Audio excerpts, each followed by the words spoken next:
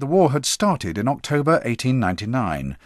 The immediate cause was the status of the Uitlanders, the British migrant workers who had flooded into the Transvaal in 1886 when vast gold mines had been discovered.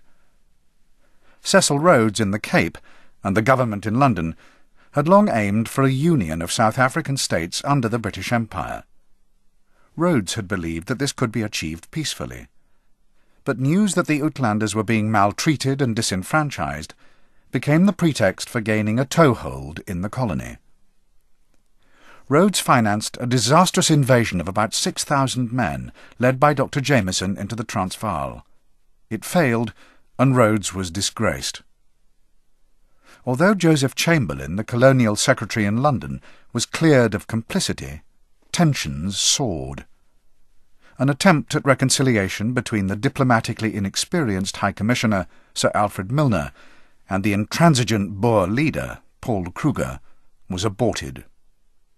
Chamberlain diverted forces from India and the Mediterranean to South Africa. President Kruger issued an ultimatum. If the British did not withdraw all Imperial troops from the Republic's borders within 48 hours, war would be declared. The ultimatum expired, and Kruger made the threat real. From Bloemfontein, the capital of the Orange Free State, the Boers marched east into Natal, northwest into Mafeking, west towards Kimberley, and south into the East Cape.